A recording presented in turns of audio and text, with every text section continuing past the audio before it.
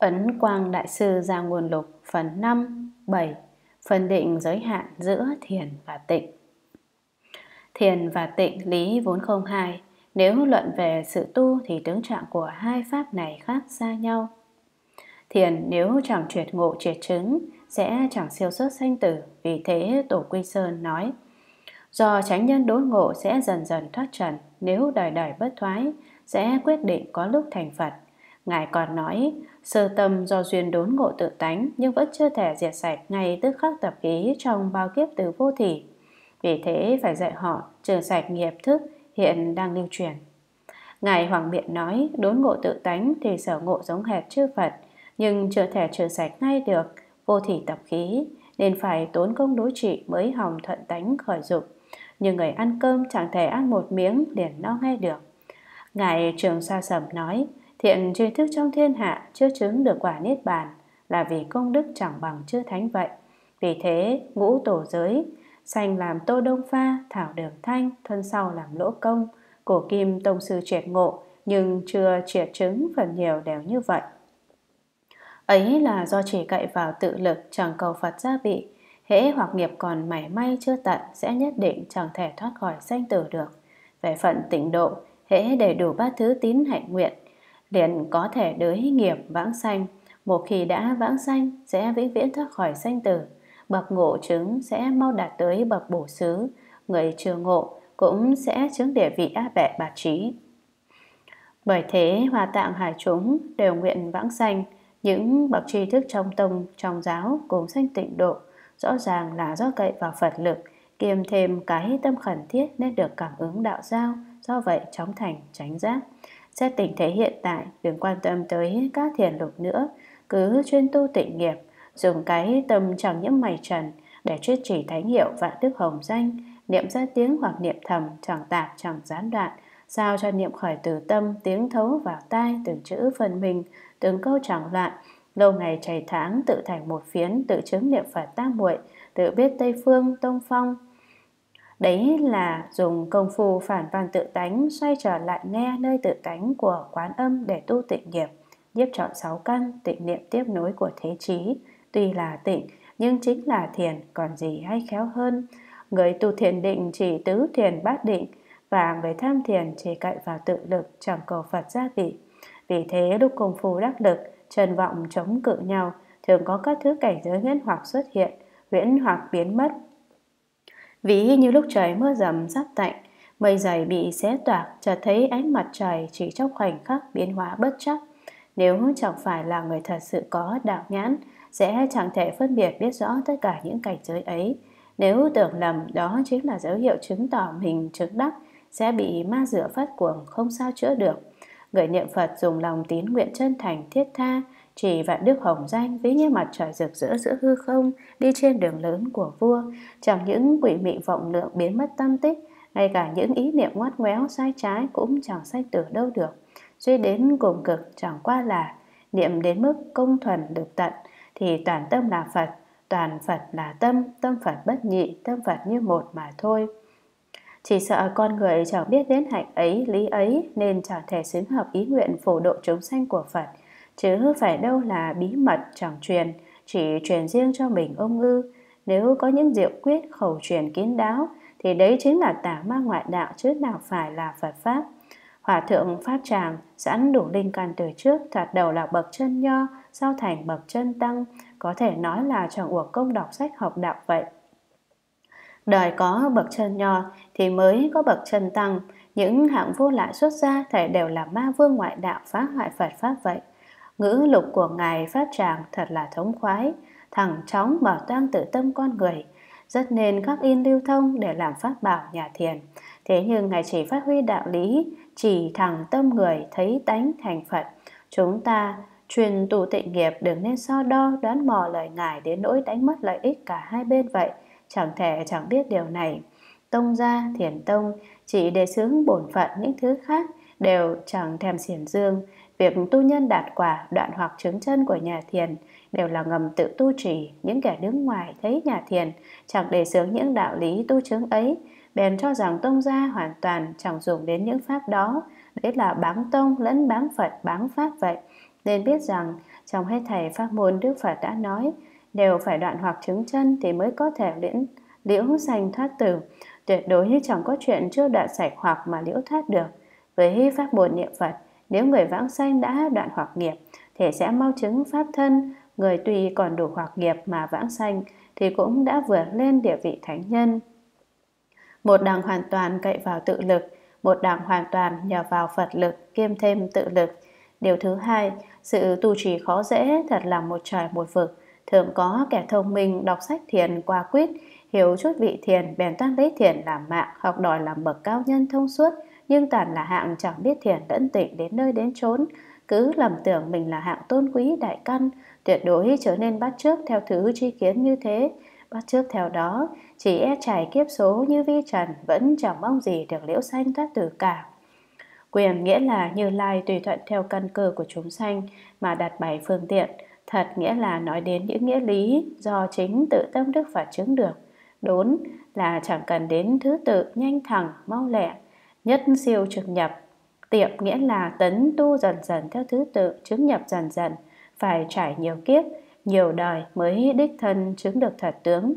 Người tham thiền cho rằng pháp tham thiền là pháp chỉ thẳng tâm người thấy tánh thành Phật. Cố nhiên pháp này thật sự là pháp đốn, nhưng họ chẳng biết rằng tham thiền dù đại triệt đại ngộ minh tâm kiến tánh thì cũng mới chỉ thấy Đức Phật lý tánh sẵn có ở ngay trong tâm này. Nếu là căn tánh Đại Bồ Tát thì vừa ngộ liền chứng tự có thể mãi mãi thoát khỏi luân hồi vừa xa tam giới. Từ đấy dùng thượng cầu hạ hóa làm nền tảng để trắc nghiêm phước và trí, xét ra trong trăm ngàn người đại triệt đại ngộ, chỉ được một hai vị thuộc vào căn tánh này, còn như những kẻ căn khí hơi kém hơn, dù có thể diệu ngộ nhưng chưa thể đoạn trừ kiến tư hoặc thì vẫn phải thuộc trong tam giới thọ sanh thọ tử. Đã phải thọ sanh tử thì từ ngộ thành mê là nhiều, tự ngộ trở thành ngộ lại ít. Như vậy, tuy pháp này thực sự là viên đốn, nhưng nếu chẳng phải đúng người thì cũng chẳng thật sự được lợi ích thật nhanh chóng, nên nó cũng trở thành pháp quyền tiện mà thôi. Vì sao vậy? Do cậy vào tự lực, nếu tự lực 10 phần đầy đủ thì họa may sẽ được như thế. Còn như chỉ hơi thiếu chút phần sẽ chỉ ngộ được lý tánh nơi cửa miệng, chẳng thể đích thân chứng được lý tánh. Hiện thời bậc đại triệt đại ngộ còn khó có được mấy người, huống là người chứng được điều mình đã ngộ. bộ pháp niệm Phật thông trên suốt dưới vừa là quyền vừa là thật, vừa tiệm vừa đốn chẳng thể dùng giáo lý tầm thường phán định được. Trên đến bậc đẳng giác Bồ Tát, dưới đến chủng tánh A Tỷ, đều cùng nên tu tập do đấy, nói là thông trên suốt dưới. Như lại vì chúng sanh thuyết pháp, chỉ nhằm làm cho chúng sanh liễu sanh thoát tử. Trong các pháp môn khác, bậc thượng căn có thể liễu sanh thoát tử ngay trong đời này, còn hạ căn bao kiếp khó lòng liễu được. Chỉ mỗi mình pháp này, chẳng cần biết là trùng tánh căn cơ nào cũng đều có thể vãng sanh Tây Phương ngay trong đời này. Hễ vãng sanh liền liễu sanh thoát tử, pháp thẳng chóng như thế há có thể gọi là tiệm ư. Chỉ do căn cơ được hóa độ bởi pháp này chẳng giống với căn cơ của các pháp viên đốn thông thường, nên pháp này tự hồ là tiệm, nhưng oai lực của pháp môn này và xuất từ thệ nguyện muốn cho những căn cơ hạ liệt ấy đều mau chóng hưởng được lợi ích lớn của Đức Như Lai. Lợi ích ấy nằm ở chỗ cậy vào Phật tử lực. Phạm những người giảng thiền nếu chưa nghiên cứu kỹ tịnh tông, chưa có ai không coi pháp này là thiền cận rồi kinh thường. Nếu nghiên cứu kỹ tịnh tông ắt sẽ cạn kiệt lòng thành, tận hết sức lực hoàng dương, há nào chấp mãi vào những lý luận quyền thật tiệm đốn, để tự mình lầm, làm người khác lầm nữa ư. Nói đến thủ xả lấy bỏ, là ước trên thật nghĩa rốt ráo mà nạn. Nạn tức là cật vấn bắt bẻ, chẳng biết rằng không thủ không xả rốt ráo chỉ là chuyện sau khi đã thành Phật. Nếu chưa thành Phật còn đang trong giai đoạn đoạn hoặc chứng chân thì đều thuộc về thủ xả cả. Đã chấp nhận chuyện thủ xả đoạn hoặc chứng chân, sao lại chẳng chấp nhận chuyện thủ xả bỏ đông lấy tây lìa cấu giữ tịnh. Đối với Pháp Tham Thiền thì thủ xả đều là sai, nhưng đối với một pháp niệm Phật thủ xả lại là đúng. Một đằng chuyên suy xét tự tâm, một đằng kiếp nhờ vào Phật lực, kẻ kia chẳng xét đến duyên do của từng của pháp môn, lầm đem pháp tham thiền phá pháp niệm Phật, vậy là hiểu lầm ý mất rồi. Vô thủ xả vốn là để hồ, nhưng niệm Phật mà cũng muốn không thủ xả, thì không thủ xả bèn thành thuốc độc. Mùa hạ dùng cát căn, mùa đông khoác áo kiểu khát uống, đói ăn chẳng sai trái gì, cũng chẳng thể cố chấp được. Chỉ có sao chọn lấy điều thích nghi thì được lợi ích chẳng bị trở ngại gì. Coi bỏ đông lấy tây là sanh diệt, tức là chẳng biết rằng chấp đông phế tây chính là đoạn diệt. Chưa chứng diệu giác, có ai là không lấy bỏ. Tam kỳ luyện hạnh, trăm kiếp tu nhân thượng cầu hạ hóa đoạn hoặc chứng chân, không sự nào chẳng phải là lấy bỏ. Đó sao? Phải biết rằng Đức Như Lai muốn cho hết thảy chúng sanh mau chứng pháp thân và tịch quang, cho nên Ngài mới đặc biệt khuyên trì danh hiệu Phật, cầu sanh Tây Phương. Một chuyện tham thiền nói dễ dàng sao? Cổ nhân như Ngài Triệu Châu Thẩm Thiền Sư, xuất gia từ nhỏ đến hơn 80 tuổi vẫn hành cước, nên mới có bài tụng rằng Triệu Châu bát thập do hành cước, chỉ vị tâm đầu vị tiểu nhiên. Triệu Châu tám chục còn hành cước, do bởi cõi lòng chửa lặng không. Ngài Trường Khánh ngồi rách bảy cái bồ đoàn rồi mới khai ngộ. Ngài Dũng Tuyền phải nhọc nhằn hết 40 năm, Ngài Tuyết Phong ba lượt lên gặp Ngài Đầu Tử 9 lần lên Động Sơn, họ là bậc đại tổ sư đại triệt đại ngộ mà còn phải gian nan đến thế. Lũ mà còn kia mới nghe quả mà tuyết đều được khai ngộ ngay. Vậy thì những vị tổ sư vừa nói trên đây có sách dày cho chúng cũng không đáng sao. Những lời chẳng chấp trước về lý thì đúng như về sự thì chẳng phải là điều hạng phàm phu sát đất có thể làm nổi. Suốt ngày mặc áo ăn cơm rồi vênh váo mình bất chấp đó lại. Bảo kẻ suốt ngày bụng rỗng tuếch chẳng được chén nước hạt cơm đó là gần chết rằng tôi coi gan rồng tùy phượng hệt như uế vật nghĩ đến là muốn ói huống hồ là nước xuống toàn là nói xuống như nhau thôi này kẻ tham thiền nếu chẳng hiểu giáo lý thì cái không giải thoát đó phần nhiều trở thành bệnh cho họ. Còn như không cảnh hiện tiền, khi tịnh tọa lắng ý thì bất quá là do ý niệm lặng trong chế ngự được vọng, nên ngẫu nhiên huyễn cảnh phát hiện đó thôi. Nếu tưởng lầm đấy chính là dấu hiệu chứng tỏ mình chứng đắc, bèn xanh lòng mừng rỡ lớn lao, thì sẽ mất trí thành cuồng và cũng khó cứu được. Nếu may mắn suy xét kỹ chẳng chấp trước buông bỏ huyễn vọng, chợt quán thông các pháp môn thì đấy mới là đi trong chốn gai góc đã lâu chợt đến chỗ khoảng khắc người đời mạt căn cơ hèn kém trí thức hiếm hoi. Nếu chẳng nhờ vào phật tự lực chuyên tu tịnh nghiệp chỉ cậy vào tự lực tham cứu thiền tông đã minh tâm kiến tánh đoạn hoặc chứng chân. Thành công hiếm có mấy ai còn hạng tưởng huyễn là chân lấy mê làm ngộ ma dựa phát cuồng thật nhiều lắm. Vì thế các vị vĩnh minh liên trì vân vân quan sát căn cơ đương thời cực lực chủ trương pháp môn tịnh độ. Thiền tức là trần như Phật tánh trong bổn tâm chúng ta, tông môn gọi là bổn lai diện mục trước lúc cha mẹ sanh ra, Tông môn chẳng nói toạc ra cốt sao phải tham cứu tự hiểu lấy Nên mới nói như vậy. Chứ thật ra nó là cái tâm thể thuần chân Không năng không sở vừa tịch vừa chiếu. Ly niệm linh chi Ly niệm linh chi là không có ý niệm suy nghĩ gì Nhưng mọi cảnh hiện hữu đều hiểu rõ cả. Tịnh độ là tín nguyện trì danh Cầu sanh Tây Phương Chứ chẳng phải chỉ riêng duy tâm tịnh độ tự tánh di đà. Có thiền là cực lực tham cứu đến mức niệm lặng, tỉnh mất. Thấy thấu tột, bổn lai diện mục trước khi cha mẹ sanh ra, minh tâm kiến tánh. Có tịnh độ là trần thật pháp bồ đề tâm sanh tín phát nguyện chỉ danh hiệu phật cầu sanh tây phương. Nói thiền và tịnh độ chỉ là ước về giáo, ước theo lý mà nói. Có thiền, có tịnh độ là ước về căn cơ, ước theo mặt tu hành. Giáo lý luôn luôn như thế. Phật chẳng thể tăng, phàm chẳng thể giảm ước theo căn cơ để tu hành thì phải y giáo khởi tu, tu hành đến cùng cực để chứng lý, chứ thật sự chẳng có gì khác cả. Thứ hai là văn tùy tương tự nhưng thật ra khác biệt rất lớn, hãy nên hiểu kỹ càng đừng bộp chộp. Nếu tham thiền trước ngộ hoặc ngộ chưa triệt để, đều chẳng thể gọi là có thiền. Nếu niệm Phật nhưng thiên chấp duy tâm lại không tín nguyện hoặc có tín nguyện nhưng chẳng chân thật thiết tha, mà chỉ hời hợt hở hững thực hành qua quyết hoặc hạnh tùy tinh tấn. Nhưng tâm luyến cảnh ma hoặc cầu đời sau sanh vợ nhà phú quý, hưởng thú vui ngũ dục hoặc cầu sanh lên trời hưởng phước lạc trời, hoặc cầu đời sau xuất gia làm tăng, nên một hiểu được cả ngàn đắc đại tổng trì, hoặc dương đạo pháp phổ lợi chúng sanh, đều chẳng được gọi là có tịnh độ có thiền có tịnh độ khác nào cọp mọc rừng hiện đời làm thầy người đời sau làm phật tổ là người triệt ngộ thiền tông, minh tâm kiến tánh lại còn thâm nhập kinh tạng, biết hết các pháp môn quyền thật của Như Lai, nhưng trong các pháp môn lại chỉ chọn lấy một pháp tín nguyện niệm Phật để tự lợi lợi người, làm tránh hạnh tu tập. Bậc thượng phẩm thượng sanh, đọc tụng kinh đại thừa, hiểu đệ nhất nghĩa đã nói trong quán kinh chính là hạng người này. Người ấy có đại trí huệ, có đại biện tài, ma tà ngoại đạo, nghe tên vỡ mật, như hồ đội sừng, oai mãnh khôn sánh. Có ai đến cầu học bèn tùy cơ thuyết pháp, nên dùng thiền tịnh song tu để tiếp độ, bèn dùng thiền tịnh song tu để tiếp độ, nên dùng chuyên tu tịnh độ để tiếp độ, bèn dùng chuyên tu tịnh độ để tiếp độ. Bất luận là thượng trung hạ căn, không ai chẳng được lợi ích, há chẳng phải là đạo sư của trời người ư.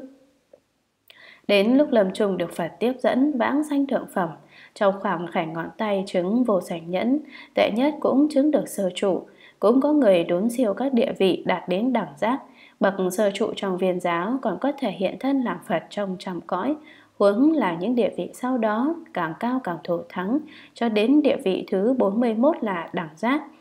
Vì nói vì thế nói là đời sau làm Phật tổ, không thiền có tịnh độ, vạn người tu vạn về. Nếu được thấy Di Đà lo gì chẳng khai ngộ, là có người tuy chưa minh tâm kiến tánh nhưng quyết trí cầu sanh Tây Phương. Do trong kiếp xưa, Phật từng phát đại thệ nguyện nhiếp thọ chúng sanh như mẹ nhớ con. Nếu chúng sanh thật sự có thể như con nhớ mẹ, trí thành niệm Phật, sẽ cảm ứng đạo giao liền được nhiếp thọ. Người tận lực tu định huệ cố nhiên được vãng sanh, nhưng kẻ ngũ nghịch thập ác lâm trùng, bị sự khổ bức bách, phát lòng hổ thẹn lớn lao, xương niệm danh hiệu Phật, hoặc tới 10 tiếng, hoặc chỉ một tiếng rồi liền lâm chung cũng đều được Phật hóa thân tiếp dẫn vãng sanh, chẳng phải là vạn người tu vạn người về hay sao? Kẻ ấy tùy niệm Phật chẳng bao nhiêu, nhưng do cực kỳ mãnh liệt nên đạt được lợi ích lớn lao như thế, chớ nên so sánh nhiều ít với những kẻ niệm Phật hời hợt qua loa, đã sanh về Tây Phương, thấy Phật nghe Pháp, dù có nhanh chậm bất đồng nhưng đều đã cao dự dòng thánh, vĩnh viễn chẳng thoái chuyển, tùy theo can tánh cạn hay sâu, là tiệm hay đốn mà chứng các quả vị, đã được chứng quả cần chi phải nói đến khai ngộ nữa. Vì thế nói, nếu được thấy di đà, lo gì chẳng khai ngộ. Có thiền không tịnh độ, mười người chín trần trừ ấm cảnh nếu hiện tiền chớp mắt đi theo nó. Người tuy truyền ngộ thiền tông, minh tâm kiến tánh, nhưng kiến tư phiền hoặc, chẳng dễ đoạn trừ, phải qua nhiều duyên rèn luyện để trở sạch không còn sót gì, mới có thể thoát khỏi phần đoạn sanh tử. Với kẻ chẳng đoạn được chút gì thì chẳng cần bàn đến nữa, dù cho đoạn đến mức còn một mảy phiền não chưa trở sạch thì vẫn hệt như cũ, khó tránh nổi luân hồi lục đạo. Biển sanh tử sâu thăm thẳm, nẻo bồ đề xa vời vợi, còn chưa về được nhà đã mạng chung. Trong 10 người đại triệt đại ngộ 9 người đã như thế, cho nên nói 10 người chín trần trừ thập nhân kiểu ta lộ. Ta là ta đà, thông thường nói đàm các trần trừ ấm cảnh là trung ấm thân cảnh, tức là các cảnh hiện ra bởi các nghiệp lực thiện ác trong đời này và bao kiếp. Khi cảnh này hiện trong khoảng chớp mắt, sẽ theo nghiệp lực thiện hay ác nào mạnh mẽ nhất đi thọ sanh trong đường thiện hay ác, chẳng mảy may tự chủ được. Như người mắc nợ, chủ nợ nào mạnh mẽ sẽ lùi đi, tâm tình lắm mối đặt nặng nơi nào sẽ nghiêng về đó. Ngũ tổ giới tái sanh làm tô đông pha, thảo đường thanh, lại sanh làm lỗ công, họ còn là căn cơ bậc thượng đấy nhé. Vì thế nói ấm cảnh nếu hiện tiền chớp mắt đi theo nó. Chữ ấm có nghĩa là ngăn che, ý nói do nghiệp lực này ngăn che, khiến chân tánh chẳng thể hiện hiện được. Có kẻ cho rằng ta đà nghĩa là lầm lạc, ấm cảnh, là cảnh hiện hiện bởi ngũ ấm ma, toàn là do chẳng hiểu chữ thiền và chữ có nên mới nói hồ đồ như thế. Lẽ nào bậc đại triệt đại ngộ 10 người hết chín kẻ lạc lối, chạy theo cảnh ngũ ấm ma, bị ma dựa phát cuồng ư? Phạm những kẻ bị ma dựa phát cuồng, toàn là hạng tăng thượng mạng chẳng biết giáo lý, chẳng rõ tự tâm, tu mù điện quáng đó thôi, sao lại gám cho bậc đại triệt đại ngộ là chẳng biết tốt xấu vậy? Điều này quan hệ rất lớn, chẳng thể không biện định rõ. Không thiền không tịnh độ, dướng sắt và cột đồng, vạn kiếp cùng ngàn đời, không một ai nương dựa. Có kẻ cho rằng câu không thiền không tịnh độ, chỉ kẻ vùi đầu tạo nghiệp, chẳng tu thiện pháp thật lầm lẫn quá, pháp môn vô lượng.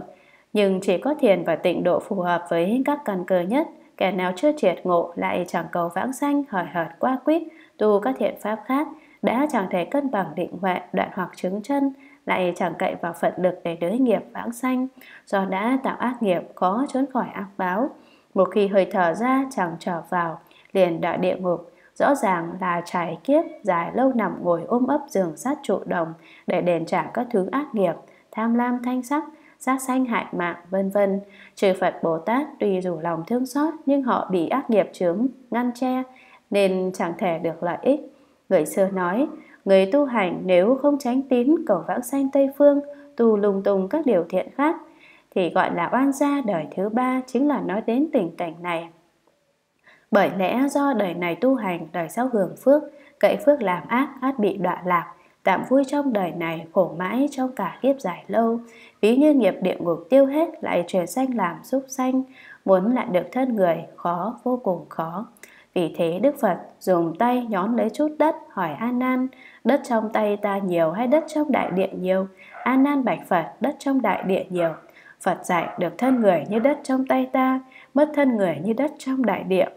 Nói muôn kiếp và ngàn đời không một ai nương dựa là do bị ràng buộc bởi phần điệu của bài kệ nên chỉ nói thiền cận như thế. Hết thảy pháp môn chuyên cậy vào tự lực, pháp môn tịnh độ chuyên cậy vào phật lực hết thảy các pháp môn phải hết sạch hoặc nghiệp mới có thể liễu sanh tử pháp môn tịnh độ, đới nghiệp vãng sanh, liền dự vào dòng thánh đại sư vĩnh minh, sợ thế gian chẳng biết nên soạn riêng bài liệu giản này để chỉ dạy cho đời sau có thể nói là chiếc bè báu nơi bến mê là người dẫn lối nơi đường hiểm. Tiếc là mọi người trong thế gian đọc lướt qua chẳng chịu nghiên cứu đến cùng tột. Chẳng phải là đồng phận ác nghiệp xui khiến đến nỗi thành như thế chăng? Đạt ma từ Tây qua truyền Phật tâm ấn, chỉ thẳng tâm người thấy tánh thành Phật. Những cái để thấy để thành ấy chính là thiên chân Phật tánh có sẵn ngay nơi tâm chúng ta. Ngài dạy như thế để con người trước hết biết được cái gốc rồi tự dựa vào đó mà tấn tu hết thảy các pháp tu chứng cho đến khi nào tu được cái không thể tu, chứng được cái không thể chứng mới thôi. Chứ chẳng có nghĩa là vừa ngộ liền đầy đủ cả phước lẫn huệ, viên mãn rốt giáo Phật đạo Bồ Đề, giống như vẽ rồng điểm nhãn để người nghe tự mình được thọ dụng. Do vậy thiền tông phát triển rực rỡ trói ngời nơi chấn đán Trung Hoa, đạo tâm này chính là Phật, Pháp phi tâm phi Phật lan khắp hoàn vũ, Người thiên cơ sâu đối với mỗi cơ mỗi cảnh, liền biết đầu mối, liền phun châu nhà ngọc chẳng vướng lối xáo mòn, vào sống ra chết chọn chẳng ngăn ngại sợ hãi, được đại giải thoát đắc đại tự tại. Nếu căn cơ hơi kém hơn, dù đại triệt đại ngộ nhưng phiền não tập khí chưa thể trở sạch, thì vẫn là người trong sanh tử y như cũ, xuất thai cách ấm đa phần bị mê, bậc đại ngộ còn như thế huống kẻ chưa ngộ ư. Vì thế phải chuyên tâm dốc trí vào pháp môn tịnh độ, cậy vào Phật tử lực mới là kế sách ngàn phần ổn thỏa, vạn phần thích đáng vậy. Trong luật giáo thiền tông, trước hết phải hiểu sâu giáo lý rồi mới y giáo tu hành, tu hành công sâu, đoạn hoặc chứng chân mới thoát khỏi sanh tử. Nếu chẳng hiểu giáo lý, bèn là tu mù luyện quáng, nếu không được chút ít, đã cho là đủ, bèn bị ma dựa phát cuồng, dù cho hiểu giáo lý, công tu hành sâu xa, vẫn phải đoạn hoặc, nếu còn chút mảy may nào chưa đoạn sạch sẽ vẫn y như cũ, chẳng thể thoát khỏi cảnh khổ được. Mãi đến khi hoặc nghiệp hết sạch mới có thể thoát ly sanh tử. Nhưng vẫn còn cách địa vị Phật rất xa, chẳng phải trải qua bao kiếp tấn tù mới viên mãn được Phật quả. Ví như dân hèn sanh ra đã thông minh, đọc sách, học văn nhiều năm khó nhọc, học vấn đã thành thi đậu làm quan, do có tài năng lớn, từ chức quan nhỏ được thanh cấp dần. Đến khi làm tể tướng, quan vị cực phẩm nhưng không thể nào lên cao hơn được nữa. Địa vị bậc nhất trong đám quần thần nhưng so với thái tử sang hèn, khác nhau một trời một vực huống hồ so với hoàng đế. Suốt đời làm bầy tôi, tuân hành lệnh vua, cúc cùng tận tụy giúp vua cai trị quốc gia. Nhưng cái địa vị tể tướng ấy thật chẳng dễ dàng gì. Cả nửa đời siêng năng vất vả, ra sức nhẫn nại, cho đến cuối cùng cũng chẳng hơn được thế. Còn kẻ học vấn tài năng sút kém, đôi chút chẳng đạt được như thế thì có đến trăm ngàn vạn ước người, đấy là tự lực. Học vấn tài năng ví như hiểu sâu giáo lý, y giáo tu hành, địa vị đến bậc tể tướng, ví như công tu hành sâu, đoạn hoặc chứng chân, chỉ có thể xưng là thần bảy tôi, chẳng dám xưng là vua. Ví như tuy ra khỏi sanh tử vẫn chưa thành Phật. Những kẻ học vấn chẳng đủ, chẳng thể đạt được như thế rất nhiều ví như rất nhiều kẻ chưa đoạn hết hoặc chẳng thể thoát khỏi biển khổ sanh tử. Trong pháp môn niệm Phật, dù chẳng hiểu giáo lý chưa đoạn hoặc nghiệp, chỉ cần tín nguyện trí danh cầu sanh tịnh độ, lúc lâm trùng quyết định được Phật đích thân tiếp dẫn vãng sanh Tây Phương, đã sanh về Tây Phương và Phật nghe Pháp ngộ vô sanh nhẫn, liền ngay trong một đời ấy quyết định bổ vào địa vị Phật. Đấy là Phật lực lại kiêm tự lực, nghĩa là tín nguyện trí danh là tự lực. Tự lực ấy có thể cảm được Đức Phật, do thệ nguyện nhiếp thọ, Phật rủ lòng từ tiếp dẫn. Đấy là Phật lực có thể ứng đến ta, do cảm ứng đạo giao bèn được như thế. Nếu như hiểu sâu giáo lý đoạn hoặc chứng chân thì phẩm vị vãng sanh càng cao, viên thành Phật đạo càng nhanh. Bởi thế, văn thủ phổ hiền, hoa nghiêm, hải chúng, mã minh, long thọ, tổ sư, các tông đều nguyện vãng sanh. Ví như thác sanh vào hoàng cung vừa ra khỏi thai mẹ đã quý hiền, át cả quần thần. Đấy là do thế lực của vua, cho đến khi khôn lớn, học vấn, tài năng mỗi mỗi đều đầy đủ, cả sẽ có thể tiếp nối ngôi báu bình trị thiên hạ. Hết thảy quần thần phải nghe theo chiếu dụ, đấy chính là vương lực, tự lực cùng có. Pháp môn niệm Phật cũng giống như thế, chưa đoạn hoặc nghiệp, nương Phật tử lực vãng sanh Tây Phương để thoát sanh tử. Giống như thái tử mới sanh đã quý hiển át cả quần thần, khi đã vãng sanh hoặc nghiệp tự đoạn, quyết định bổ vào địa vị Phật giống như thái tử khôn lớn kế thừa ngôi báu bình trị thiên hạ. Thêm nữa, bậc đã đoạn hoặc nghiệp, như mãng binh long thọ, tổ sư các tông, bậc đã trước địa vị bổ xứ như văn thù phổ hiền hoa nghiêm hải chúng, để nguyện vãng sanh, giống như trước kia chấn giữ trốn biên thủy hẻo lánh chẳng thể nối ngôi, nay sống trong đông cung chẳng bao lâu sẽ lên ngôi báu. Tâm tánh chúng ta hệt như chư Phật, chỉ về mê trái nên luân hồi chẳng ngơi, nhưng lại xót thương tùy cơ thuyết pháp khiến cho hết thảy hàm thức để biết đường về nhà. Pháp môn tùy nhiều trọng yếu, chỉ có hai môn thiền và tịnh là dễ liễu thoát nhất. Thiền chỉ có tự lực, tịnh kiêm Phật lực. So sánh hai môn tịnh khế cơ nhất như người vượt biển phải nhờ sức thuyền mới mau đến được bến. thần tâm thản nhiên, chúng sanh đời mà chỉ có thể hành nổi pháp này, nếu không là trái với căn cơ nhọc nhằn nhưng khó thành phát đại bồ đề, dành tín nguyện chân thành thiết tha, suốt đời kiên trì, chỉ niệm Đức Phật, niệm đến cùng cực, tình kiến mất sạch chính là niệm nhưng vô niệm, diệu nghĩa thiền giáo triệt đà hiển hiện, đến khi lâm chung được Phật tiếp dẫn lên ngay thượng phẩm chứng vô danh nhẫn, có một bí quyết tha thiết bảo ban, dốc lòng thành tận lòng kính, mầu nhiệm huyền diệu làm sao. 8. Giải quyết những điều nghi hoặc thường gặp. một Luận về sự lý. Lý thế gian hay xuất thế gian chẳng ra khỏi hai chữ tâm tánh. Sự thế gian và xuất thế gian chẳng ra khỏi hai chữ nhân quả. Chúng sanh trầm luôn kiểu giới, như lai chứng nhất thừa. Nhưng tâm tánh chẳng tăng hay giảm mảy may nào. Sở dĩ thăng trầm khác xa nhau, khổ vui cách biệt vậy vậy là do tu đức nơi nhân địa chẳng giống hệt nhau nên thọ dụng quả địa khác biệt. Xiển dương Phật Pháp thật chẳng phải là chuyện dễ, chỉ luận về lý tánh thì trung căn hạ căn, chẳng hưởng lợi ích, chuyên nói nhân quả thì người căn cơ bậc thượng, thường hay chán nghe, nhưng nhân quả và tâm tánh nếu tách rời ra cả hai đều tồn, hợp lại cả hai cùng tốt đẹp. Vì thế Ngài Mộng Đông nói, người kéo luận tâm tánh ắt chẳng bỏ đỉa nhân quả, người tin sâu nhân quả ắt rốt cuộc, hiểu rõ tâm tánh. Lý này lẽ tất nhiên là như thế, nhưng chúng sanh thời mà Pháp căn cơ hèn kém, các Pháp thiền giáo chỉ cậy vào tự lực, khế cổ còn khó, hướng hổ liễu thoát. Chỉ có pháp môn tịnh độ cậy vào Phật lực, chỉ cần đầy đủ lòng tin chân thành nguyện thiết tha, dù là ngũ nghịch thập ác cũng có thể vĩnh viễn thoát khỏi luân hồi, cao dự hài hội.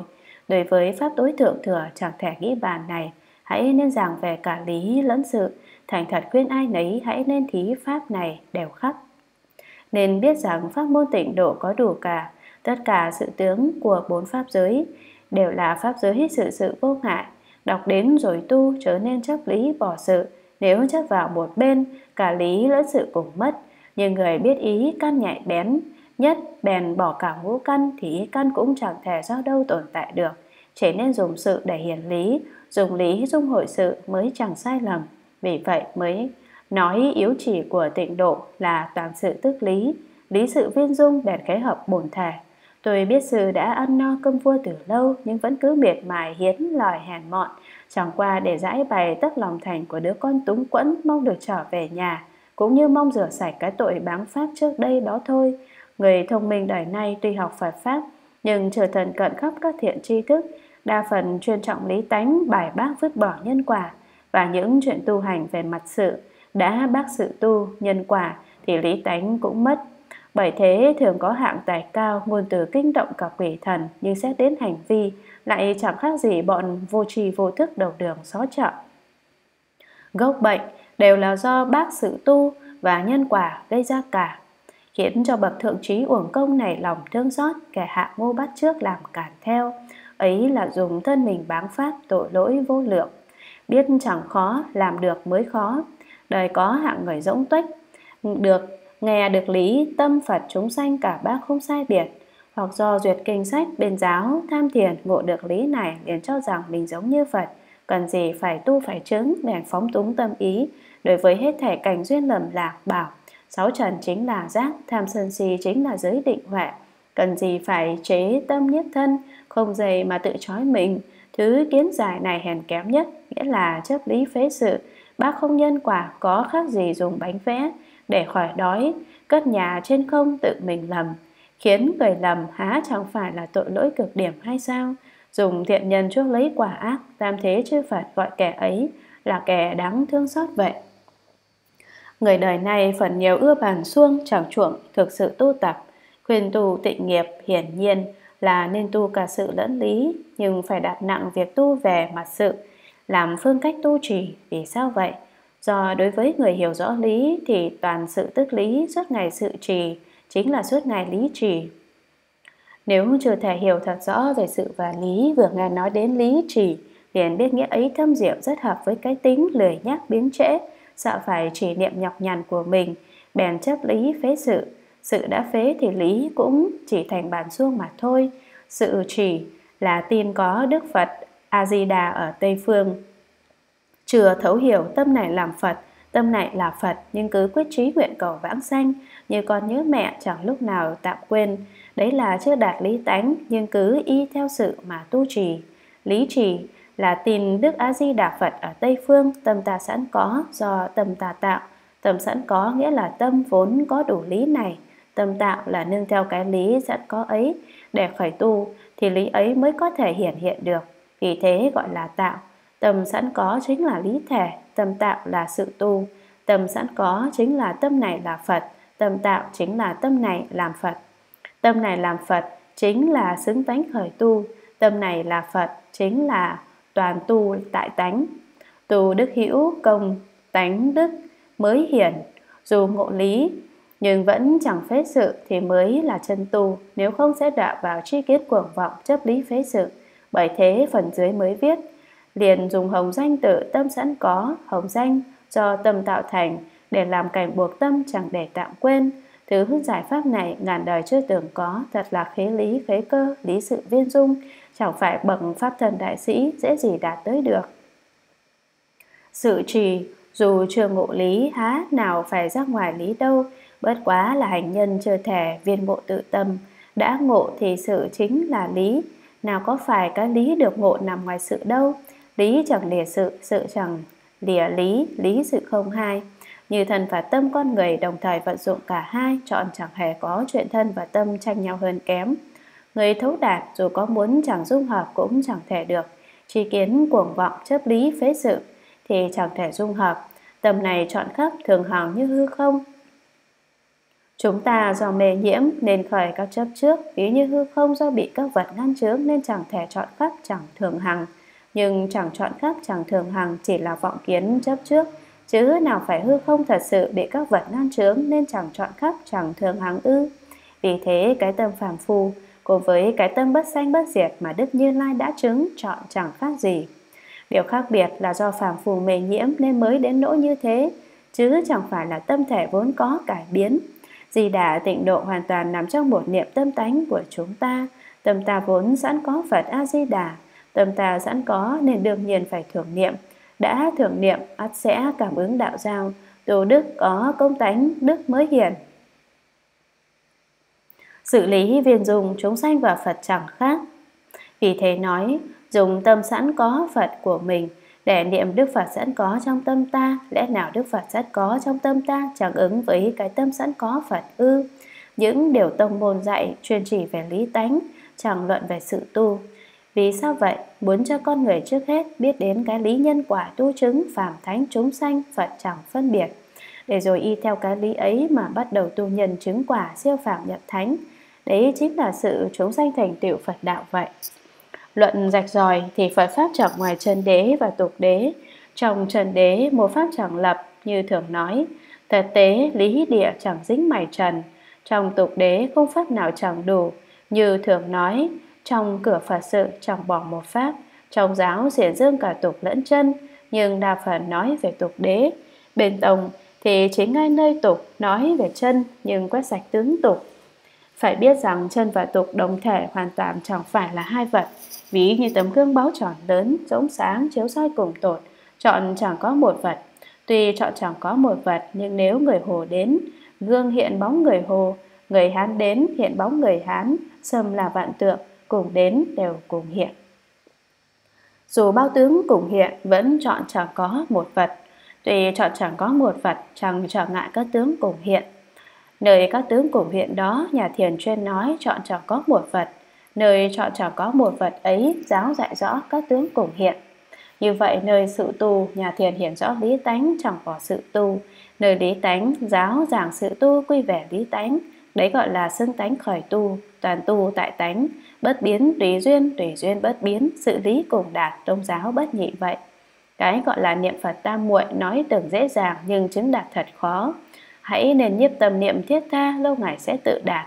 Dù chẳng thể tự đạt, nhưng do công đức tin chân thành nguyện thiết tha, nhiếp tâm tịnh niệm, ắt sẽ ngầm được Phật tiếp dẫn đới nghiệp vãng sanh. Sự nhất tâm theo cách phán định của Đại sư Ngẫu Ích, người tu hành đời nay còn chưa thực hiện nổi huống chi lý nhất tâm, phải đạt được kiến tư hoặc mới gọi là sự nhất tâm, phá vô minh chứng pháp tánh gọi là lý nhất tâm. Nếu là bậc trong ngầm hạnh Bồ Tát ngoài hiện làm phàm phu, thì đối với hai loại nhất tâm này chẳng khó khăn gì. Nếu thật sự là phạm phu đầy dẫy trên phược, thì sự nhất tâm còn chưa dễ được, huống hồ là lý nhất tâm ư. Hãy xem kỹ lá thư trao đổi rất dài giữa quang tôi và vị cư sĩ nọ ở Vĩnh Gia ác sẽ biết rõ. Đến trường đảo ngộ vô sanh rồi, gìn giữ chắc chắn tiêu sạch các tập khí dư thừa sẽ tự hiểu rõ điều ấy. Cần gì phải hỏi trước? Như người uống nước nóng lạnh tự biết, nếu không dù người uống có nói đích xác 10 phần, người chưa uống rốt cục vẫn chẳng biết được mùi vị ra sao. Có lẽ cư sĩ thấy ngộ được vô sách nhẫn là chuyện dễ dàng, e tự mình ngộ rồi nhưng chưa biết cách gìn giữ chắc chắn cái ngộ ấy ắt sẽ bị các tập khí thừa sót khiến cho sở ngộ lại bị mất đi nên mới hỏi như vậy chăng? Trần vô sành nhẫn thật chẳng phải là chuyện nhỏ đâu, đấy chính là phá vô minh chứng phát tánh, tối thiểu phải là bậc sơ trụ trong viên giáo, bậc sơ địa trong biệt giáo mới chứng được, nói sao dễ dàng thế. Mong ông hãy hành theo những điều Quang đã nói trong văn sao, ắt sẽ hiểu duyên do pháp môn tịnh độ, ăn tín nguyện hạnh sẽ chẳng bị những dị thuyết của hết thảy thiện tri thức đạt mất. Sau đấy nếu còn sức thì chẳng ngại nghiên cứu thêm các kinh luận đại thừa để mở mang trí thức hoặc làm căn cứ hoặc chuyển tịnh độ. Như vậy dù là phàm phu vẫn có thể tùy cơ lợi sanh hành Bồ Tát đạo, đừng lầm mong cao xa, chỉ e sự lý chẳng rành khó tránh khỏi bị ma dựa. Lá thư dài, gửi vị cư sĩ nọ ở Vĩnh Gia truyền trị chứng bệnh này, bệnh cư sĩ ấy với bệnh của ông tên gọi khác nhau nhưng tánh chất giống hệt nên Quang chẳng muốn nói nhiều. Chỉ mong ông nhờ lá thư ấy mà lãnh hội, phải biết người sau khi đã ngộ dù tu chỉ giống hạt như người chưa ngộ nhưng tầm niệm khác biệt, người chưa ngộ vô sanh, cảnh chưa xảy đến đã mong sẵn. Cảnh hiện tiền bèn nắm níu cảnh đã qua rồi vẫn nghĩ nhớ, người ngộ vô sanh thì cảnh tuy sanh diệt, tâm chẳng sanh diệt, hệt như gương sáng, đến không dính, đi không tàn tích. Tâm ứng theo cảnh như gương hiện bóng, chọn chẳng có mảy may ý niệm nào chấp trước quyến luyến. Dù đối cảnh vô tâm vẫn sóng trào biển hạnh, mây bùa cửa từ. Đối với luân lý cương thường thế gian và việc thượng hoàng, hạ hóa, đều mỗi mỗi nhận hiểu đúng, thật sự thực hành, dù táng thân mất mạng, chẳng chịu vượt phạm. Đừng tưởng là đối cảnh vô tâm, rồi phế hết các sự tu trì tự lợi lợi tha, thượng hoàng hạ hóa. Nếu hiểu như vậy sẽ vướng sâu vào không ma, đoạn vào ngoan không, do đấy bác không nhân quả, buông lung làm càn, trở thành đem phạm lạm thánh, hoại loạn Phật Pháp, lầm lạc chúng sanh, tạo thành trùng tử A tỷ địa ngục. Điều này quan hệ hết sức sâu xa, bất đắc dĩ quang tôi phải vì ông trình bày sơ lược lợi hại. Nếu ước trên thật tế lý thể để luận, thì phạm thánh chúng sanh Phật nhân quả tu chứng đều chẳng thể được. Nếu luận trên phương diện pháp môn tu trì, thì trên tiểu như lai đã thành Phật đạo dưới đến chúng sanh trong A tỷ đều chẳng ra ngoài nhân quả. Hiểu rõ lý tánh nhưng chẳng phế sự tu, bèn là tránh chi, chất lý tánh phế sự tu. Bèn thành tà kiến, sai chỉ hào ly, lập thành địa ngục và Phật quả khác biệt. hai Luận về tâm tánh, tâm vừa tịch vừa chiếu, bất sanh bất diệt, rộng lớn thấu triệt linh thông, tiên dung hoạt bát là gốc của hết thảy các pháp thế gian và xuất thế gian, tự hạng phàm phu đầy dẫy triển phược hôn mê điên đảo lầm lạc, cho đến tam thế chư Phật, tâm ấy vẫn hệt như nhau, chọn không có gì khác. Vì thế nói, tâm Phật chúng sanh cả ba không sai biệt. Chỉ vì chư Phật chứng đắc rốt giáo nên công đức lực dụng phô bày triệt đẻ, phàm phu toàn thể mê trái, lại còn áp dụng sức công đức lực dụng ấy vào sáu trần cảnh khởi tham sân si tạo giết trộm dâm do hoặc tạo nghiệp do nghiệp cảm khổ. Bao thứ hoặc nghiệp khổ pha khởi lẫn nhau. Nhân nhân quả quả liên tiếp chẳng dứt trải trần xa kiếp chịu mãi luân hồi dù muốn xuất ly cũng chẳng có cách nào ví như trong nhà tối mò phải của báu chẳng những không thọ dụng được lại còn bị của báu ấy làm tổn thương tâm nề chạy theo cảnh quay lưng với giác xuôi theo trần lao cũng giống như thế như Lai thường xót dạy cho họ bỏ vọng về với chân, khôi phục tâm tánh mình. Thoạt đầu dạy, hết vọng là chân, kế đó dạy toàn thể vọng chính là chân. Như gió lặng sóng yên nắng ấm băng tan, sóng băng trở thành nước, sóng băng cùng với nước nào phải là hai vật. Nhưng lúc sóng chưa yên, băng chưa tan, so với lúc sóng đã lặng, băng đã tan, dù thể tánh chọn chọc phải hai, tướng và dụng khác xa vời vậy.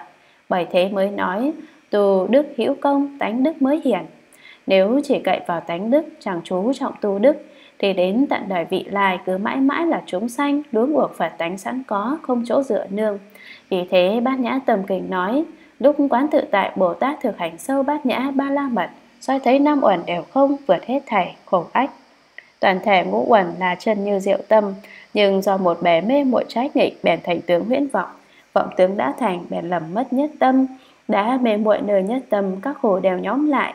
Như gió thổi, toàn thể nước trở thành sóng trời lạnh nước mềm thành cứng dùng bát nhã thậm tâm để chiếu soi liền hiểu rõ mê chân thành vọng toàn vọng chính là chân như gió lặng trời ấm nước lạnh trở về bản thể vì thế biết rằng hết thảy các pháp đều do vọng tình biết hiện nếu liều vọng tình thì bản thể của các pháp ấy hoàn toàn là không bởi vậy tứ đại đều mất bản tánh, lục căn dùng lẫn cho nhau.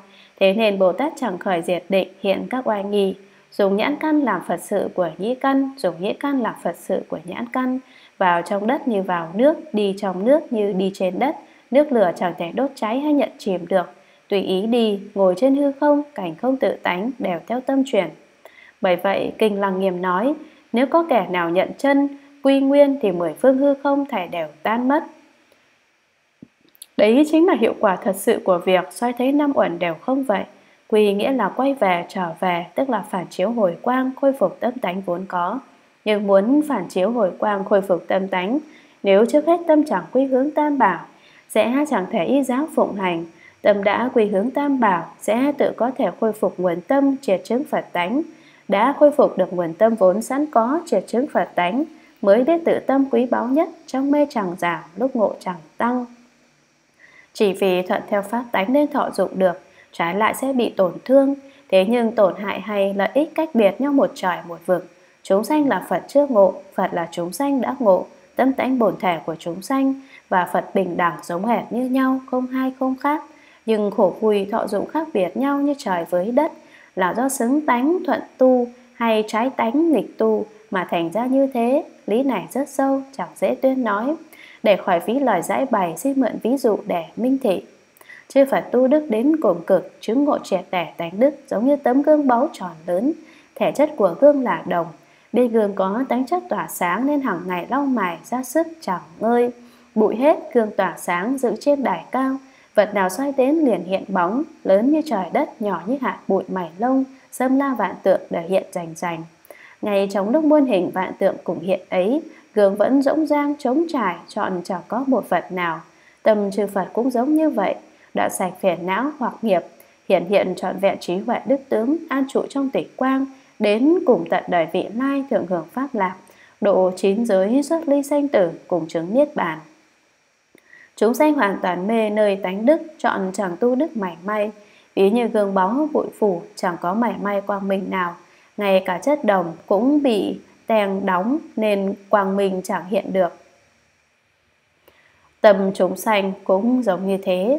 Nếu như biết tấm gương bị bỏ phế chẳng hiện chất đồng này vốn có quang minh soi trời chiếu đất, do đấy chẳng chịu bỏ phế ngày ngày lau chùi mải bóng, đúc đầu hơi lộ chất đồng dần dần tỏa ánh quang minh, vẫn cực lực mài cho sạch. Một ngày kia, tang lẫn bụi, hết sạch, tự nhiên hình tượng nào soi vào liền hiện bóng soi trời chiếu đất. Quang bình ấy gương vốn tự có, chẳng phải từ bên ngoài vào, chẳng phải do mài mà có. Nhưng nếu chẳng mài cũng không cách nào có được. Chúng sanh bỏ trần xuôi theo tánh giác.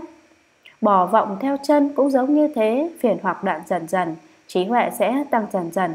Đến khi công hạnh viên mãn đoạn được cái không thể đạt, chứng được cái không thể chứng, viên mãn bổ đề, trở về cái chẳng thể đạt được, thần thông trí huệ công đức tướng hảo chọn chẳng khác gì với mười phương ba đời chư Phật.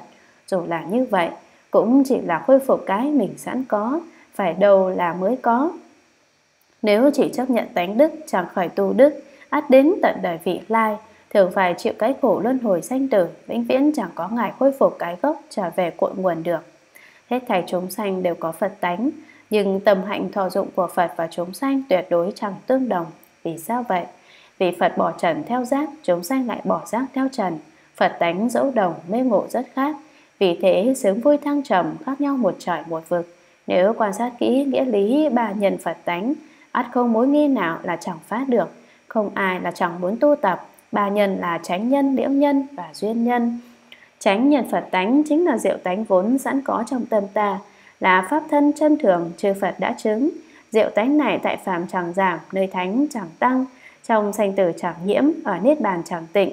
Chúng sanh triệt đẻ, mê trái tánh này, chư Phật viên chứng rốt giáo, mê chứng dù khác, tánh thường bình đẳng. Thứ hai là liễu nhân Phật tánh, tức là tránh trí để phát sanh tránh nhân Phật tánh, do trí thức hoặc là do kinh giáo, nghe biết diệu nghĩa tránh nhân Phật tánh đèn liễu ngộ, biết do một niệm vô minh chướng lấp nguồn tâm, chẳng biết bản thể của cảnh giới sáu trần vốn là không, nhận lầm thật có, đến nỗi khởi tham sân si tạo giết trộm dâm do hoặc tạo nghiệp, do nghiệp chịu khổ, khiến cho tránh nhân Phật tánh trở thành cái gốc để khởi hoặc tạo nghiệp chịu khổ. Từ đấy liễu ngộ, bè muốn bỏ vọng về với chân, hòng mong khôi phục bổn tánh, Ba là duyên nhân Phật tánh, tức là trợ duyên, đã liễu ngộ, phải tu tập các thứ thiện pháp ngõ hầu tiêu trừ hoặc nghiệp, tăng trưởng phước huệ. Cô sao tự chứng được rốt giáo cái lý sẵn có mà ta đã ngộ đó mới thôi. Xin dùng thí dụ để chỉ rõ. Tránh nhân Phật tánh như vàng trong quặng, như lửa trong gỗ, như ánh sáng noi gương, như mầm trong hạt. Dù là sẵn có, nhưng nếu chẳng biết đến chẳng được các duyên, nung luyện khoét rùi mài rũa gieo trồng mưa đẫm, thì vàng lửa ánh sáng mầm mộng vĩnh viễn chẳng khi nào phát sanh được. Như vậy dù có tránh nhân, nhưng nếu không duyên chọn chẳng thể thọ dụng được. Bởi thế Phật dạy hết thảy chúng sanh đều là Phật muốn độ thoát họ, nhưng nếu chúng sanh chọn chẳng liễu ngộ, chẳng chịu tu tập thiện pháp, đến nỗi ba kiếp dài lâu luân hồi sanh tử không thể thoát được. Do đó như lai rộng bày các phương tiện tùy cơ chỉ bày dẫn dắt, mong chúng sanh bỏ vọng theo chân, bỏ trần theo giác, Cổ nhân nói sanh tử cũng lớn há chẳng đau đớn ư?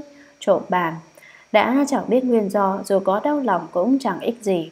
Nên biết rằng hết thảy chúng sanh Theo nghiệp lưu truyền thọ sanh trong sáu đường. Sanh chẳng biết từ đâu đến Chết chẳng biết đi về đâu. Do nhân duyên tội thầy phước sẽ thăng hai dáng xoay vần văn hồi Chẳng lúc nào xong. Như lời thường xót Dạy nhân duyên do hoặc khởi nghiệp do nghiệp cảm khổ Và bản thể thường lạc ngã tịnh Tịch chiếu viên dung khiến chúng sanh hiểu rõ do vô mình nên mới có thân này. Vì thế thân này hoàn toàn thuộc về huyễn vọng, chẳng những không có tứ đại, ngay cả ngũ uẩn cũng đều không. Đã biết ngũ uẩn là không, thì trần như pháp tánh thật tướng diệu lý sẽ triệt để phô bày trọn vẹn. Do tùy duyên nên có tứ thánh lục phàm khổ sướng thăng trầm khác xa nhau, nhưng duyên có tịnh nhiễm nên phải tùy thuộc vào một trong hai duyên ấy. Tùy thuộc nhiễm duyên sẽ khởi hoặc tạo nghiệp luân hồi sáu đường, tùy thuộc tịnh duyên sẽ đoạn hoặc chứng chân thường trụ niết bàn. Do hoặc nghiệp có nặng và nhẹ nên có đường lành người trời, đường thiện ác chen lẫn là Atula là ba ác đạo, súc sanh địa ngục ngạ quỷ. Do hoặc khởi hoặc do nghiệp tạo nghiệp hoặc thiện hoặc ác chọn chẳng có tướng nhất định cho nên chỗ phải sanh về sẽ lần lượt thay đổi. Như bánh xe xoay tít chẳng có đầu mối trật lên trật xuống, đã có đủ phiền não sẽ đều bị nghiệp buộc ràng.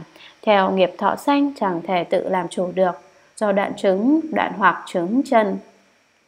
Có sầu hài cạn, nên người đoạn kiến tư hoặc sẽ chứng quả thanh văn, người trừ tập khí sẽ chứng quả duyên giác, bậc phá vô mình sẽ chứng quả Bồ Tát. Nếu trừ sạch vô mình phước huệ viên mãn, công tu đến cùng cực. Công tu đức đến cùng cực, tánh đức vô bày trọn vẹn sẽ chứng Phật quả. Chứng Phật quả bớt quá chỉ là chứng rốt ráo triệt đẻ những công đức, lực dụng sẵn có trong tâm tánh ngay khi còn thuộc địa vị phàm phu. Này thọ dụng toàn thể những công đức lực dụng ấy mà thôi, chứ chẳng thêm mảy may gì và cái tâm tánh ban đầu ấy cả. Như thành phần duyên giác Bồ Tát tùy sở chứng cao thấp bất đồng nhưng đều chưa thể thọ dụng trọn vẹn những công đức sẵn có nơi tánh. Thế nhưng hết thảy phàm phu lại hướng sức lực chẳng thể nghĩ bàn của tâm tánh ấy vào sáu trần cảnh, khởi tham sân si, tạo giết trộm dâm đến nỗi đạo vào ba ác đạo, trầm luân bao kiếp, do ra ai nấy đều như thế chẳng đáng buồn ư. Trước không khởi đầu, sau không kết thúc, dù chứa đựng cả thái hư vẫn chẳng thể lọt ra ngoài, dù nằm lọt trong vi trần cũng chẳng thể lọt vào trong thanh tịnh sáng sạch. Trạm tịch thường hằng, chẳng danh chẳng diệt, lìa tướng lìa danh, là có nhưng chẳng phải có, là không nhưng chẳng phải không, đấy là chân tánh. Xét ra, cái thân địa thủy hỏa phong chỉ là gân xương máu thịt chứa nhóm mới sanh liền diệt, vừa tươi tốt đã tàn úa, các xương đốt chống đỡ như kết gỗ làm nhà, một tấm da phủ ra ngoài như tô bùn chát vách, bên trong toàn là phân tiểu máu mủ, mặt ngoài cáu ghét mồ hôi lông tóc, giỏi tửa lúc nhúc cháy giận như sao trời, già gọi là người nào tồn tại cái ngã, lại dùng những thứ mình sẵn có làm mắt tai mũi lưỡi thân ý để bươn bả trong rừng gai góc sắc thanh hương vị xúc pháp. Do đó khởi vô minh tham sân si, diệt bất tránh trí giới định huệ. Ngũ quản vốn không, nào ai chịu một phen quán chiếu, sáu trần vô tánh, người người cho là thật, đến nỗi vạn khổ cùng tụ tập, cứ lầm mãi tánh linh với vọng tâm và viễn thân. Đúng như kinh viên giác nói, hết thảy chúng sanh bao thứ điên đảo. Nhận lầm tứ đại là thân tướng của mình, nhận lầm duyên ảnh của sáu trần là tâm tướng của mình.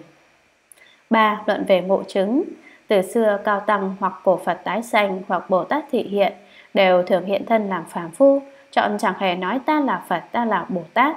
Vì thế Kinh Lăng Nghiêm nói, sau khi ta diệt độ, ta truyền các Bồ Tát và các A-la-hán ứng thân, sanh trong thể mạt Pháp, hiện các thứ thân để độ những kẻ đang đôn truyền. Nhưng chọn chẳng tự bảo mình thật sự là Bồ Tát hay A-la-hán tiết lộ nhân duyên bí mật của Phật, chỉ thường nhún nhường nói mình là kẻ mạt học, chỉ trừ lúc lâm chung bèn ngầm để lại lời phó chúc. Chí giả đại sư thật sự là hóa thân của Phật Thích Ca, đến lúc lâm chung có người hỏi Ngài đã chứng đến địa vị nào, Ngài đáp, nếu tôi chẳng lãnh chúng, ắt sẽ tịnh được sáu căn, vì tổn mình lợi người, nên chỉ đạt được ngũ phẩm. Do vậy vẫn còn thuộc địa vị phàm phu. Ngũ phẩm tức là địa vị quán hạnh trong viên giáo, sở ngộ bằng với chư Phật, đã chế phục hoàn toàn vũ trụ phiền não, nhưng vẫn chưa đạt được kiến hoặc. Ngài trí giả lúc lâm trùng còn chẳng hé lộ sở chứng thật sự là vì để khích lệ kẻ hậu học, gắng trí tinh tu. Chẳng đến nỗi được chút ít đã cho là đủ, hoặc còn là phàm phu mà đã lạm xưng là thánh. Này bè lũ ma khoe sàng mình đắc đạo, hoại loạn Phật Pháp, lầm lạc chúng sanh là kẻ đại vọng ngữ. Cái tội đại vọng ngữ đó nặng hơn tội ngũ nghịch thập ác trăm ngàn vạn ước lần thầy trò chúng nó sẽ đạ mãi trong địa ngục A Tỳ trải qua Phật sát vi trần số kiếp, luôn chịu sự khổ cùng cực, không cách nào thoát khỏi, sao đành vì hư danh lợi lạc phù phiếm một thời, để phải chịu hình phạt thảm khốc dài cả kiếp. Danh lợi làm con người lầm lạc đến nỗi như thế đấy. Niệm Phật xem kinh ngộ lý nhị không, chứng pháp thật tướng là ước trên phương diện tự tỉnh ngộ tu trì để dạy về nhân hiện tại quả mai sau, chớ nên cản dỡ tự đắc bảo là ngay trong đời này mình sẽ đạt được như thế. Chứng thật tướng ngay trong đời này chẳng phải là không có người làm được, chỉ e hiền khiết, không có căn lành ấy. Nếu chẳng trình bày rõ nguyên do, e rằng ông sẽ lầm mong chứng thánh, trí cao nhưng hạnh chẳng xứng. Lâu ngày ắt sẽ mất trí đâm cuồng, chưa đắc bảo đã đắc, chưa chứng bảo đã chứng, cầu thăng hóa đoạn, biến khéo thành vụng. Xét đến kết quả, khó tránh chìm đắm mãi mãi trong nẻo ác, chẳng những mai một tánh linh của chính mình lại còn cô phụ Phật ân nữa.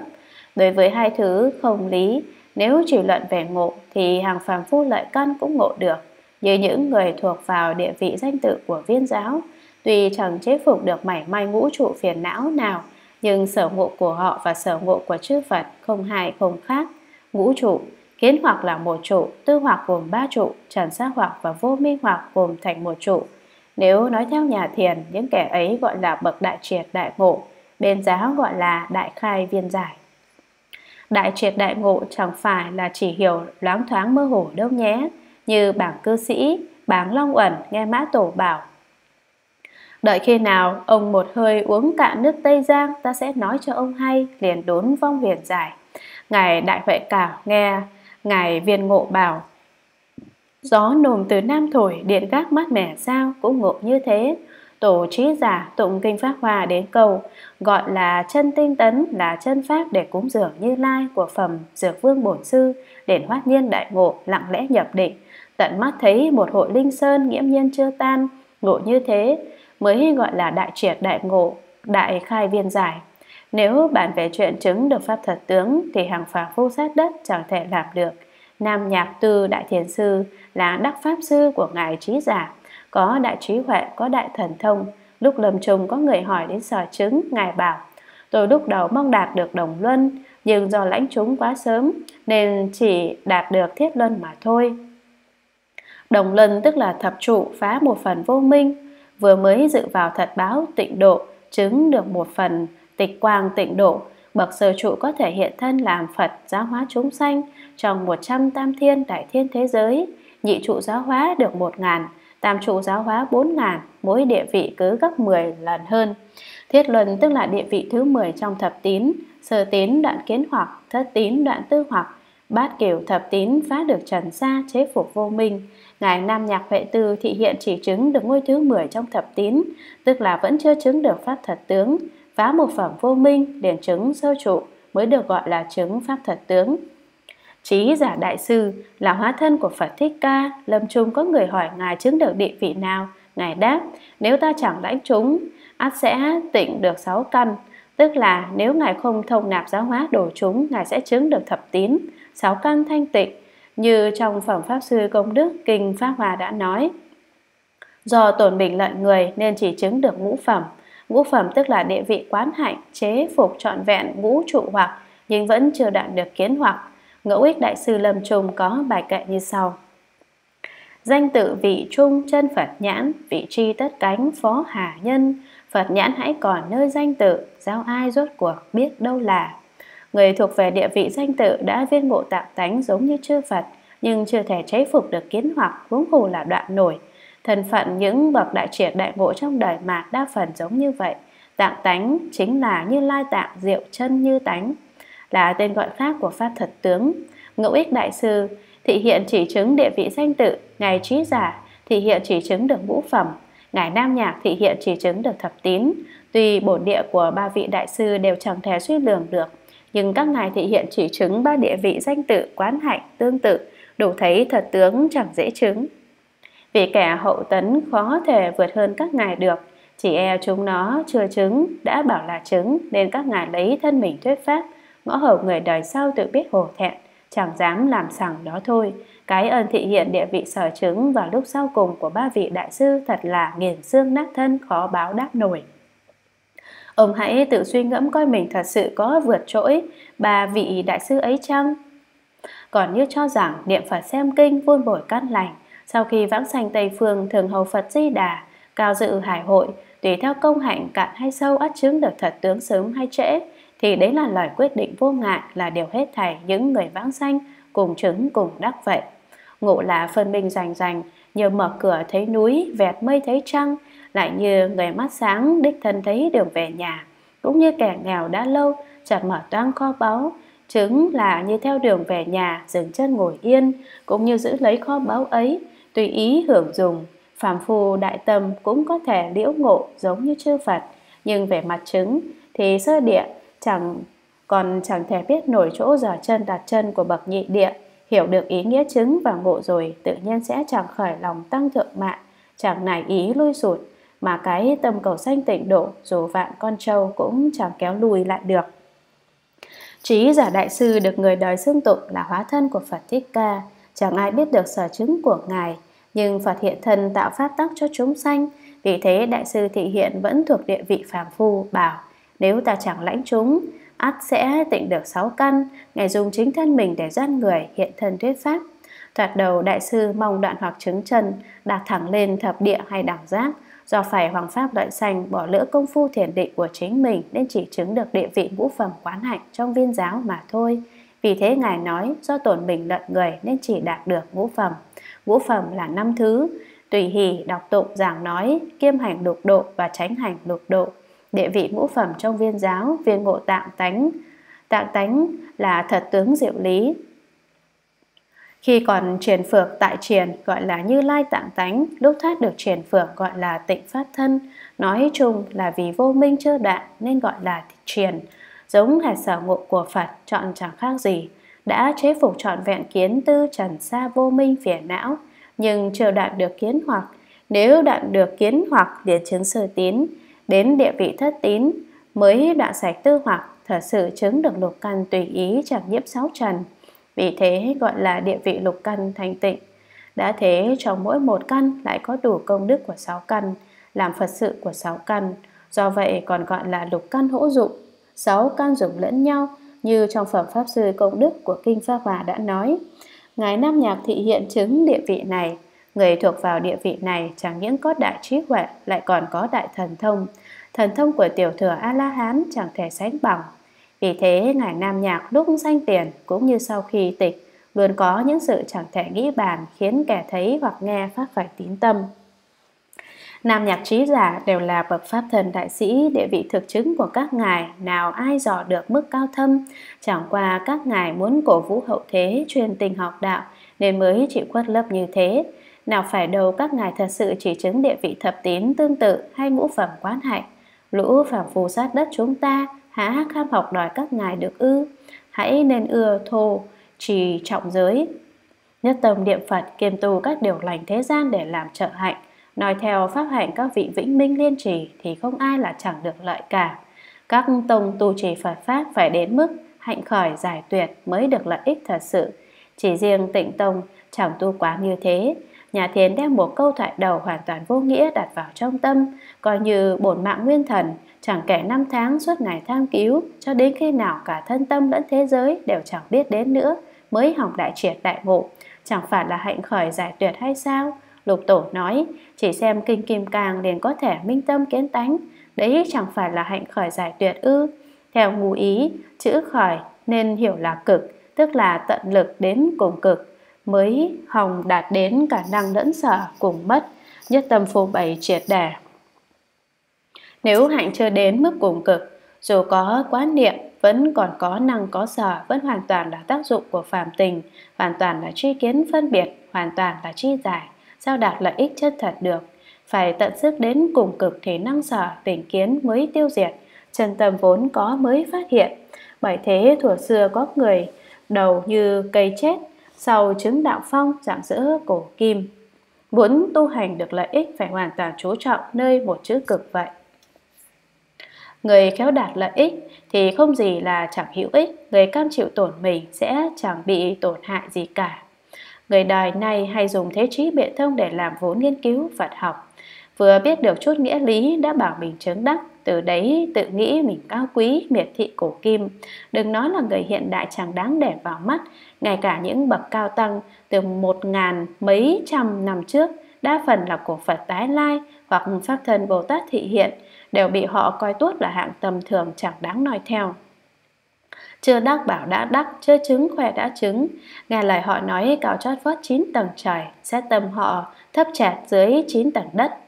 Tập nhiễm như thế hãy nên quyết liệt trừ khử, nếu không khác nào đề hồ đựng trong chén độc, giết người chết tươi.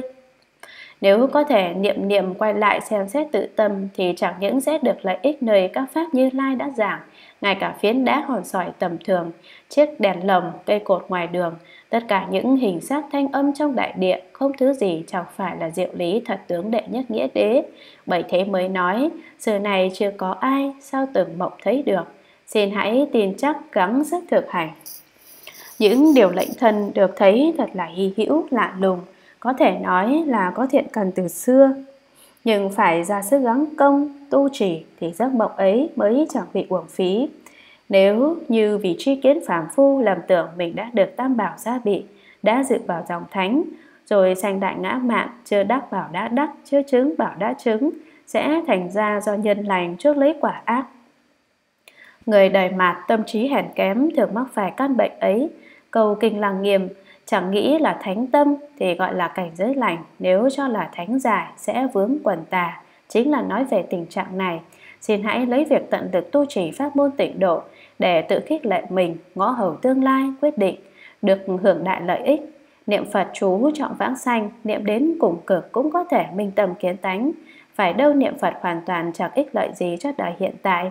Xưa kia Ngài Minh Giáo Tung Thiền Sư Nhật khóa niệm 10 vạn lần thánh hiệu quán thế âm Sau này mọi kinh sách thế gian Ngài không đọc nhưng đều biết Cứ xem tịnh độ thập yếu, tịnh độ thánh hiền lục ác sẽ biết niệm Phật mầu nhiệm Quảng Tôi đã nhắc đến nhiều lần trong cuốn văn sao hủ lậu của mình. Cư sĩ bảo niệm Phật vô ích đối với đời này, Thì chẳng những chưa thâm hiểu các kinh luận tịnh độ, Mà ngay cả với cuốn văn sao của Quang cũng chỉ cưỡi ngựa xem hoa, chưa đọc hiểu thật kỹ vậy. Tùy tịch quang tịnh độ là đương xứ tức thị, có thể tạm hiểu là ngay nơi đây chính là cõi thường tịch quang, hoặc hiện hữu ngay tại nơi đây, hoặc có thể ngộ nhập ngay nơi đây, chẳng cần tìm nơi khác nhưng nếu chẳng là bậc trí đạo chốt giáo tiến chứng pháp thân tỷ lô giá na sẽ chẳng thể triệt đẻ chứng ngộ đích thân thọ dụng được 41 địa vị thập trụ thập hạnh thập hồi hướng thập địa đẳng giác trong viên giáo vẫn còn là phần chứng chứng nhập được ít phần nếu ông đã viên chứng được pháp thân tỷ lô giá na, nói đương xứ tức thị tịch quang cũng chẳng ngại gì. Nếu không thì chỉ là kể tên món ăn đếm của báu, chẳng khỏi bị đói rét đến chết mà thôi. 4. Luận về tôn giáo Những giảng sư đời mạt thường thích giảng thiền, đến nỗi thính chúng đa phần chấp vào những câu công án. Trộm nghĩ những câu cơ phòng chuyển ngữ thoại đầu công án trong nhà thiền tuyệt đối chẳng có ý nghĩa gì chỉ nhằm đáp ứng căn cơ người đến hỏi, hòng chỉ nẻo hướng thượng. Những câu chuyển ngữ ấy chỉ nên để tham cứu sao lại giảng nói, giảng kinh như vậy chỉ những bậc đại sĩ siêu phàm mới hưởng lợi ích, còn những hạng trung hạ khác đều mắc bệnh hết. Đối với Tông chẳng biết tận lực tham cứu những câu cơ phong chuyển ngữ chỉ lo phỏng đoán ý nghĩa, với giáo do thật lý, thật sự nào phải là cảnh giới của mình, bèn lầm tưởng Phật tổ nói thí dụ để giảng pháp, đem tông phá giáo, dùng giáo phá tông, cái tệ nạn lưu hành này không còn gì tệ hơn được nữa. Từ ngày Tào Khê, lục tổ huệ năng về sau, đạo thiền lưu truyền rộng rãi, mối văn tự chẳng lập văn tự phổ biến các hoàn vũ, đường giải thuyết ngày càng mở rộng, cửa chứng ngộ ngày càng bế tắc. Vì thế, các tổ Nam Nhạc Thanh Nguyên đều dùng cơ phong chuyển ngữ để độ người, khiến cho Phật tổ trở thành ngôn ngữ xuông, không cách nào đáp được lời các ngài hỏi. Nếu chẳng phải thật sự là căn cơ tương xứng sẽ chẳng thể hiểu được lời ấy. Dùng cách ấy để xét nghiệm khiến vàng thau rạch ròi, ngọc đá rành rành, không còn cách nào giả trá, ngăn trở đạo pháp. Đấy chính là duyên do cơ phòng chuyển ngữ. Đấy chính là duyên do của cơ phòng chuyển ngữ. Từ đấy về sau, pháp này ngày càng thịnh hành được các tri thức đề cao, chỉ e lạc vào lối mòn của người khác trở thành khuôn sáo cũ kỹ, khiến người học nghi ngờ lầm lạc, hoại loạn tông phong nên cơ phòng chuyển ngữ ngày càng cao tổn vô phương chuyển biến, để người khác, người căn cơ không phù hợp, chẳng biết đâu mà mò. Bởi thế mới có những câu nói trách Phật của tổ, bài xích kinh giáo bác bỏ tịnh độ. Những lời ấy nhằm cưỡng đoạt tỉnh kiến biết chặt sự biện giải của người nghe, người căn thuần, sẽ nhờ ngay đó biết đường trở về triệt ngộ hướng thượng, Người căn cơ chưa thuần sẽ chân thành tận lực tham cứu quyết đạt đến đại triệt đại ngộ mới thôi. Ấy là vì tri thức còn nhiều, các tính con người vẫn còn thông lợi, hiểu rành rẽ giáo lý, tâm sanh tử khẩn thiết, dù chưa thể liễu ngộ ngay cũng chẳng nảy lòng hèn kém cho đó là pháp bảo vậy. Hiện tại lắm kẻ mới đọc vài cuốn sách nho, chẳng hiểu đạo lý thế gian, chưa hiểu cùng tổ giáo thừa, chẳng hiểu Phật Pháp. Vừa mới phát tâm bèn gia nhập tông môn, hàng tri thức chỉ vì duy trì môn định, cũng học đòi cổ nhân xiển dương, chẳng quản đạo Pháp lợi hại thế nào. Người theo học chẳng phát khỏi mối nghi tình chân thật, đối với bất cứ điều nào cũng tưởng là chân Pháp cả. Đối với những câu khai thị của người hiện tại hoặc những câu chép trong sách của cổ nhân, có kẻ bèn tự ý suy diễn nêu ra nghĩa lý dù chọn chẳng ra khỏi việc giải thích ý nghĩa theo mặt văn tự nhưng cứ tự hào là triệt ngộ hướng thượng. Việc tham học đã hoàn tất rồi liền dự ngay vào địa vị tri thức để dạy dỗ đạt hậu học lập riêng một môn định cứ sợ người khác chê mình chẳng phải là bậc thông gia bèn ra sức giảng thiền. Muốn được xưng tụng là tông thuyết kiêm thông giảng về tông thì khi giảng những lời chỉ quy hướng thượng của cổ đức rốt cuộc chỉ giảng nghĩa câu văn theo mặt văn tự. Khi giảng giáo cái đạo tu nhân chứng quả của Như Lai bị họ biến thành những thuyết mượn ví dụ để biểu thị pháp, dùng giáo phá tông, đem tông phá giáo, kẻ đuôi dẫn lũ mù kéo nhau vào lửa, đến nỗi bọn hậu bối chẳng được nghe gương sáng của tiền bối, lao nháo bắt trước thầy khinh Phật, lần tổ, bài nhân bác quả mà thôi. Giáo độ khắp ba cần thầu chọn lợi đội ví như chiếu chỉ sáng suốt của vua thánh, vạn quốc tôn sùng, trí ngu hiển tại, đều cùng hiểu rõ, đều phải tuân hành. Nếu kẻ nào chẳng tuân sẽ bị xử cực hình, nếu kẻ nào chẳng tuân lời Phật dạy, ắt sẽ đọa trong ác đạo. Tông chỉ độ được thượng căn, chẳng nhiếp trung căn hạ căn, giống như tướng quân nhận mật lệnh.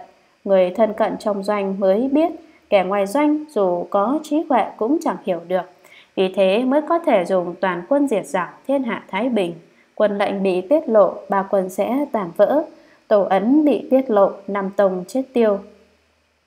Kẻ chưa ngộ, chỉ được phép tham cứu thoại đầu, chẳng được xem đọc sách thiền. Thật ra, chỉ là vị sợ kẻ ấy hiểu lầm ý tổ, chất mê là ngộ, lấy già, dối chân.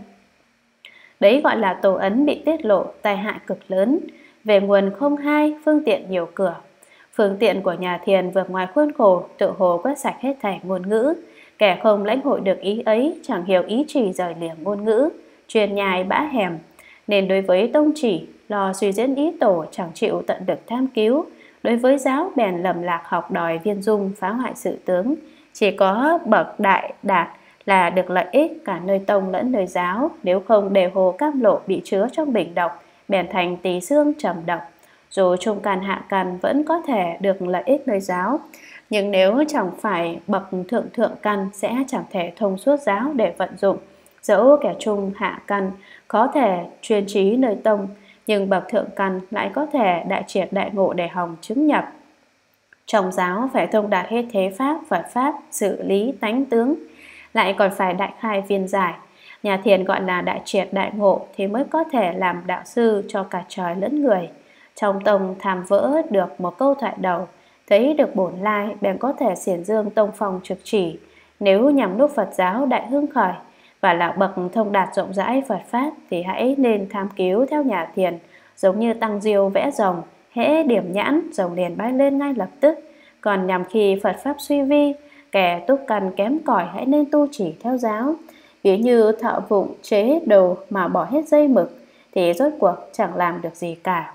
Này muốn báo ơn Phật, lại lạc hữu tình thì nhà thiền dù chuyên xiển dương tông phong vẫn phải dùng giáo để ấn chứng. Bên giáo thì tận được tu trì quán hạnh, chẳng lạm bản thiền ngữ. Ấy là vì tâm thông diệu đế, hễ gặp duyên liền thành tông, cây bách, que phân khô, quạ kêu, xẻ hót nước chảy hoa trôi, hò khạc, phẩy tay cười khẩy, giận, chửi. Pháp nào pháp nấy đều là tông cả. Lẽ nào diệu pháp viên đốn do chính kim khẩu Đức Như Lai nói ra chẳng đáng kể là tông ư?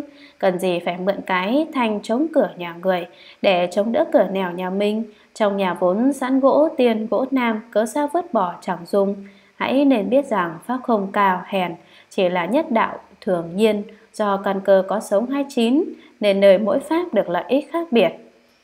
5. Luận về chỉ chú.